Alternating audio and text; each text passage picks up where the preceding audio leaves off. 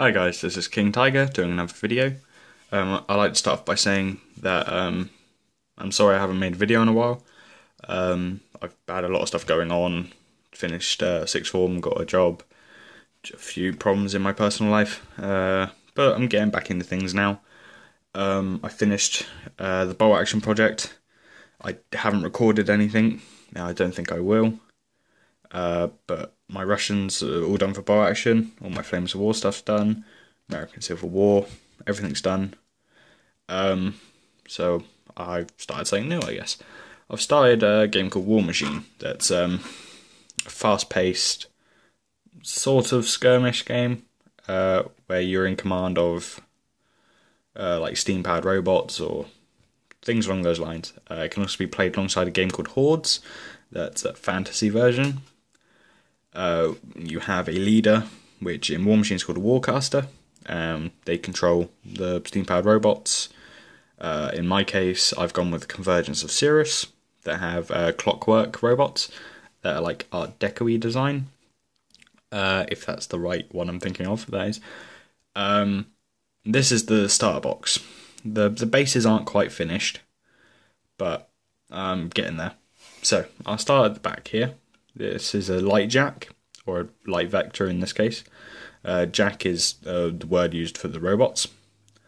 Um, I've tended some glow effects on these. This one's the, the galvanizer that's got this uh, nasty little saw blade. Um, I've tended glow effects that uh, work better on some than others. So I'm just figuring out how to do it with a brush instead of a airbrush. I've gone with the the box um, paint scheme because um, I just thought it looked cool. But I've done a lot of rust to them because someone else at my local club, where this this game has really picked up at my local club, um, and the Love Guy players have gone with the same color scheme but with green glow effects. Um, and he's painted his with pristine, so I decided to go the opposite way and paint mine really dirty and they're not as shiny as his and things like that. So yeah, this is the galvanizer, uh, light jack. Down here we have the mitigator. That's another light jack. Um, instead of having the saw blade, he actually has a gun that fires saw blades and it knocks down the opponent. So uh, you get free attacks. And then you don't have to roll to hit, you just go straight to rolling for damage which is really useful, but I haven't really figured out how to use him properly. I've sort of used him, but I need to figure out more combat effectiveness of him. Uh, so he's essentially the same figure, but uh, with different arms and head. I'll leave my caster till last. Uh, here we have uh, the Cipher, that's uh, Heavy Jack. And he has these two big piston arms that are power and strength 18 which, if you're not sure how the game works, that's quite a powerful weapon. So to figure out um, how much damage you do, everything's either on is on two dice. So um, unless you use what's called focus to boost it, uh, it gives you a third dice. You can't go any more than three dice. So this is how you figure out damage. Say I've already hit. Um, and this weapon does a power strength of has a power strength of 18 and let's say the um, enemy's armor is 12 so to roll for damage say i've got two dice that's how many get for attack and i haven't boosted it with a focus so it's just two dice and you roll that and you minus their armor from your power and strength if they've got a higher armor um, it then your power and strength, you minus what you minus however whatever the difference is from your dice, and if your power and strength is above their armor, you plus damage. So say if this guy's attacking someone with an armor of twelve, I would roll a dice, and I would add um, six. So it's dice plus six because I've got power of eighteen, armor twelve, and whatever I get with my dice plus six, it's the damage I do. I didn't explain that very well, uh, but that's pretty much how it works. So I've the glow effects look better on this guy, especially these ones here. And he has this uh, mortar that can um, blind people and things like that. And for the rust effects, if you're wondering how I did them, I used a sponge and uh, I sponged on Panzer Ace's dark rust for the darker bits and Panzer Ace's yellowish rust for the lighter bits. And I used brass for the brass bits and gunmetal, I think I used. Yeah. So that's the heavy jack. I'm not very good with this guy's name, but it's a Forge Master Syntherion. And he essentially he's a floaty guy, so so that on his base. Uh, these lines are to determine his arc of fire. Done some good effects on him. And his, his weapon's called the Workshop Array, which is just all these tools. Uh, he's a very good caster. Um, well, the leader, the leader of my army. But I'm not really a big fan of how he plays. I'm more of a uh, offensive player where he's more of a defensive character. So I then went ahead and picked up a second caster. All of these are uh, Restic or plastic resin, uh, so you still need your super glue. But I went and got uh, a metal caster for my army, which is this girl here. Uh, her name is Aurora. Well, the character's name is Aurora and she is the only human in the army that actually has any sort of skin. All the others are like human spirits put inside machines.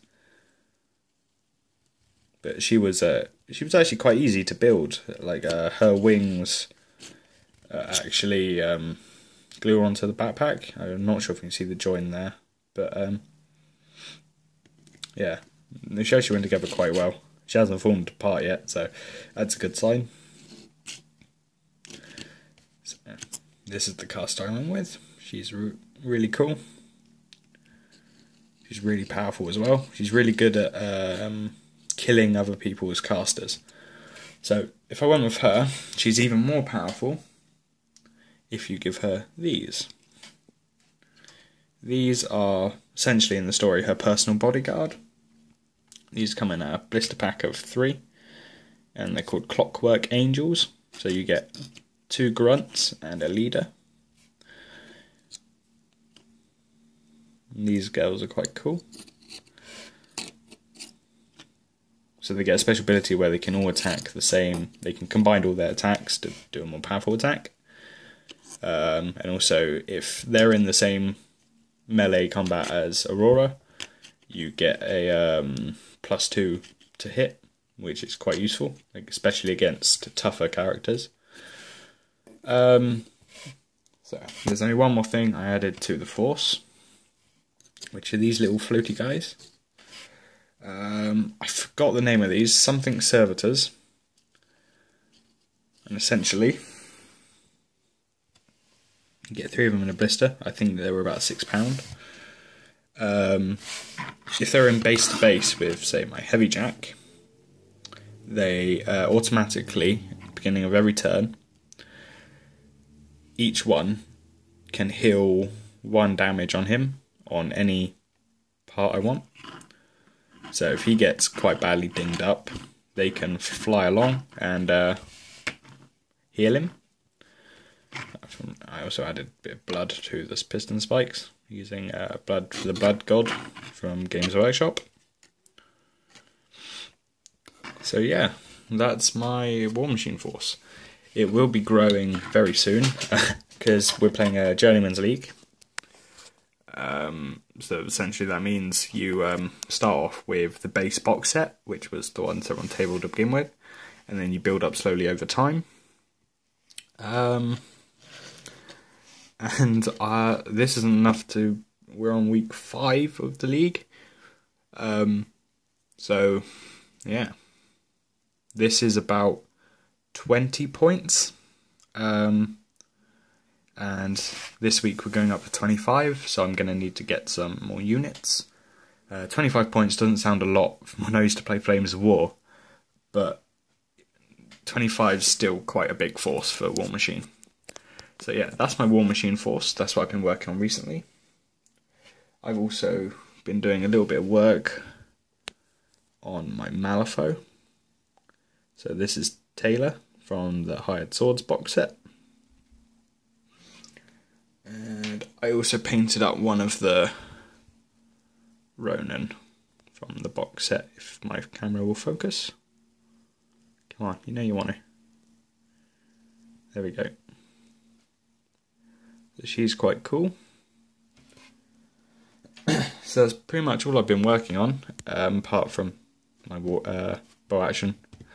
So, um, I that's going to be it for now. Um, I'll probably update you when I get my new Warmachine stuff. That should be sometime next week. Uh, so I hope you guys enjoyed the video. Uh, sorry it was quite long and I rambled a bit. I'm a bit out of the whack, bit out of whack making the videos. Um, but I should be getting back into it and getting some content out for you guys.